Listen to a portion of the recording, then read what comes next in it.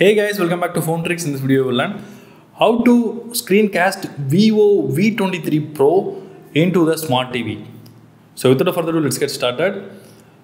First of all, you need to swipe down the quick panel. Then you need to swipe left.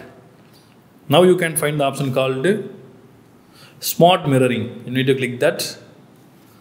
Then there are several options available in the menu. You need to click the screencast. Now your smart TV is displayed in the list. If you want to cast your phone screen to the TV, you need to connect the smart TV and your phone into the same Wi-Fi. So now I choose the Redmi smart TV from the list. Then click start now. Now the smartphone screen is displayed into the TV. You can find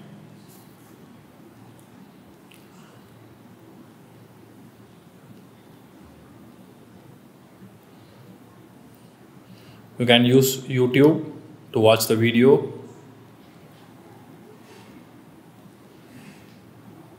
Or you can browse your own photos.